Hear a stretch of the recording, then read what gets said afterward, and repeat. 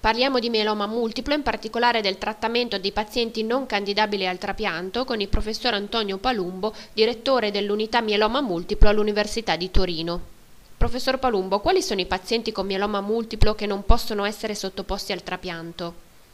Eh, diciamo che nell'ambito del mieloma esistono tre gruppi di pazienti, i pazienti più giovani, in genere di età inferiore ai 65 anni, che possono essere sottoposti a trapianto autologo, e i pazienti cosiddetti anziani di età superiore ai 65 anni che non possono ricevere un trapianto autologo e devono essere eh, trattati con le cosiddette terapie convenzionali.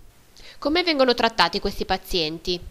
All'interno del gruppo di pazienti di età superiore ai 65 anni e soprattutto con l'invecchiamento e il passare degli anni è sempre più frequente trovare persone che oltre al mieloma possono avere altri problemi di natura sanitaria tipo cardiopatie, pneumopatie e altre alterazioni e quindi è essenziale prima di iniziare ogni trattamento specifico per il mieloma, differenziare i pazienti che non hanno nessun altro problema di natura sanitaria da quelli che già presentano altri problemi sanitari, perché i primi possono giovarsi di una terapia relativamente intensa, i secondi vanno trattati con terapie meno intense.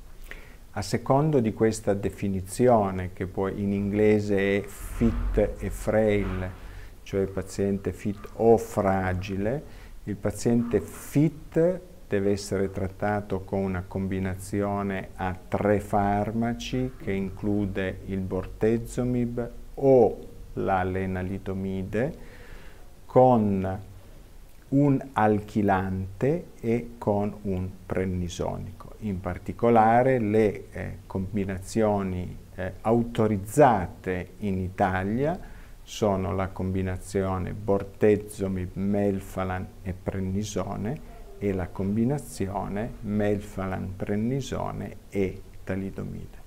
Nel paziente invece fragile è utile usare eh, le stesse combinazioni senza l'alchilante, cioè senza il melfalan e quindi l'utilizzo del bortezomib con prednisone o della lenalidomide con desametazone o prednisone. Che risultati si ottengono con questi farmaci? Ma, eh, la differenziazione consente innanzitutto di ridurre in modo importantissimo il rischio di tossicità nel paziente fragile e consente di controllare la malattia per periodi variabili da 1 a 3, 4, 5 anni. Ci sono nuovi farmaci in studio per questi pazienti? Sono in corso degli studi per eh, ehm, valutare l'efficacia eh, direi di, di, di, farmaci di seconda e terza generazione. Nel campo del limid sono in, sono in corso ed è quasi in corso di eh, registrazione e di dispensazione al pubblico eh, un IMID di terza generazione, cioè la pomalidomide. Per quanto riguarda eh, gli inibitori del protesoma, sono in corso studi per la registrazione di inibitori del protesoma di seconda generazione eh, col nome di carfizomib. Quali sono le prospettive future di questi pazienti?